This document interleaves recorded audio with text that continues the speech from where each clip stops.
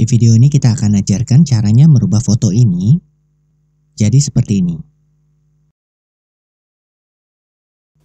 Aplikasi yang akan digunakan namanya Snapseed, tersedia untuk ponsel Android dan juga untuk iPhone. Kita buka aplikasinya, lalu kita klik tanda plus, lalu kita pilih foto yang mau diedit. Setelah itu kita klik tools, lalu kita pilih yang black and white. Lalu kita klik yang tanda centang. Setelah itu kita klik icon bersusun yang ini. Lalu kita klik view edits.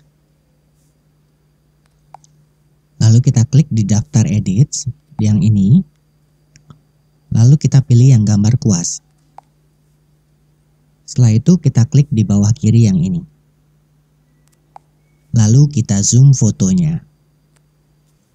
Saat kondisi zoom, kita bisa geser-geser kotak biru ini untuk mengatur posisi zoom.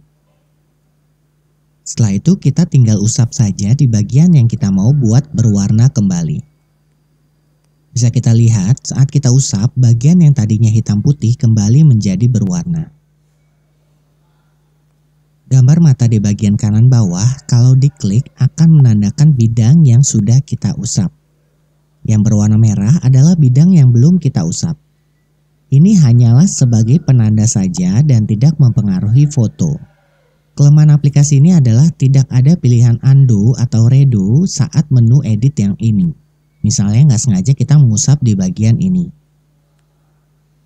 Kalau seperti ini tidak ada pilihan undo atau kembali ke sebelumnya. Untuk mengatasinya, kita pencet di bagian panah atas, lalu kita atur agar nilainya 100. Lalu kita usap lagi di bagian yang tadi untuk menutupnya. Nilai ini yang di samping panah atas dan bawah adalah untuk mengatur seberapa kuat efek yang dipakai.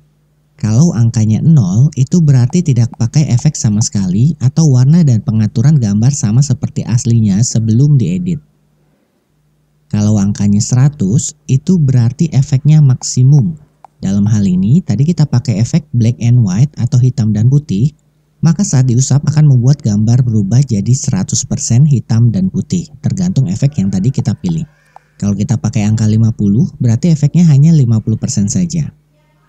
Bisa dilihat saat kita usap, efeknya hanya 50% atau hanya jadi setengah hitam dan putih. Ya pada dasarnya caranya seperti itu saja, kita tinggal rapikan saja foto yang masih berantakan. Untuk bagian-bagian yang kecil, kita tinggal zoom agar hasilnya bagus dan detail. Jadi semua dituntut dari kedetailan kamu, apakah hasilnya bagus atau tidak.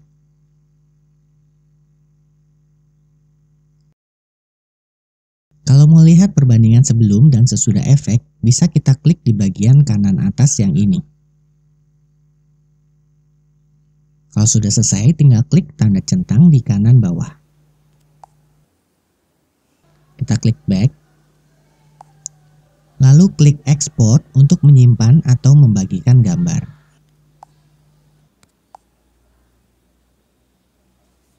Demikian video kali ini, jangan lupa like dan subscribe channel kami untuk mendapatkan update terbaru.